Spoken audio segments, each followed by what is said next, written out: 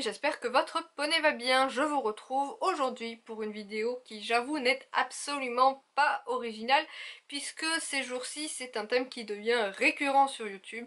Il s'agit de ma lettre au Père Noël entre guillemets, c'est-à-dire ma wishlist. Effectivement c'est assez dans le thème du moment et assez dans le thème de ma petite série Poney de Noël. Pour une fois, le Père Noël va être content, je n'ai pas mis dans cette fameuse liste du matériel pour Elion. Effectivement, si vous me suivez, vous savez que tout au long de l'année, je me fais relativement plaisir, je craque souvent sur du matériel pour mon poney. Et cette année, je me suis dit non, du coup, ces petites dépenses élionesques, si j'ose dire, m'empêchent de dépenser trop d'argent dans d'autres domaines que j'aime beaucoup, comme par exemple le maquillage. Je suis une grosse mordue de maquillage et tout comme avec les tapis de sel, je suis une grosse collectionneuse de palettes. J'ai par exemple une collection de palettes de chez Urban Decay de leur gamme Naked que j'aimerais cette année compléter sous le sapin de Noël avec leur toute dernière palette sortie qui s'appelle la Ultimate Basics. Je possède également toute la collection de palettes de Diffar de chez Zoeva et pour ces fêtes de fin d'année, ils ont sorti de nouveaux coloris que j'aimerais acquérir également. Du côté des coquetteries encore, j'avoue avoir un certain penchant pour les parfums. J'en possède plus d'une quinzaine, tous en petit format 30 ml, ce qui me permet de les garder longtemps mais de tourner souvent. Toutefois, j'avoue me lasser un petit peu des différentes senteurs que j'ai actuellement et un parfum sous mon sapin de Noël ne serait pas de refus. En ce moment, j'aime beaucoup le My Burberry et le Black Opium de chez Yves Saint Laurent.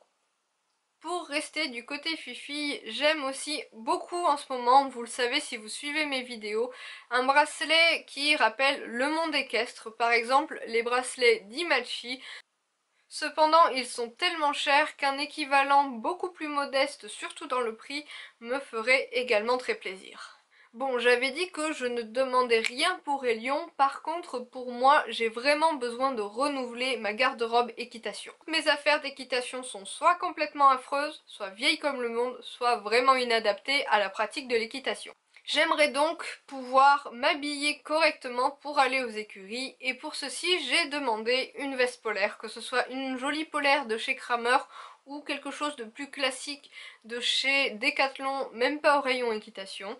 J'aimerais aussi une veste, alors soit une grosse veste pour rester à pied et j'aime bien celle de Kramer, ou bien une veste un petit peu plus légère qui serait mi-saison. Pour ma part, j'aime pas monter à cheval avec des choses qui, m'étouffent. Et euh, pour ceci, j'aime beaucoup celle de chez Equitem. Je possède également une paire de chaps en cuir que j'avais fait faire sur mesure, que j'adore. Toutefois, j'avoue que les boots Fuganza que j'avais acheté au même moment ont un petit peu moins bien vécu, si j'ose dire.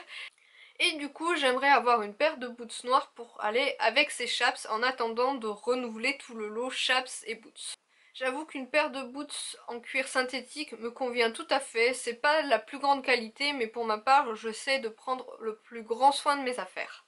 Et par exemple j'aime beaucoup celle de chez Orz, toutefois j'ai quelques doutes quant aux fioritures euh, sur le coup de pied, même si je trouve hyper pratique la fermeture éclair autant que les élastiques à la cheville. Toutefois, Kramer fait deux modèles de boots euh, un petit peu plus sobres, si j'ose dire, qui me plaisent tout autant. Voilà tout le monde, je crois que c'est tout pour cette wishlist de Noël, j'espère ne rien avoir oublié. En toute honnêteté, je ne pense pas tout avoir sous le sapin, ce serait une grande folie que ce soit le cas. Euh, sur ce, je fais plein de papouilles à votre poney, n'hésitez pas à me mettre quelques éléments de votre wishlist de Noël en commentaire. Je vous dis à demain pour le projet poney de Noël et passez de bonnes fêtes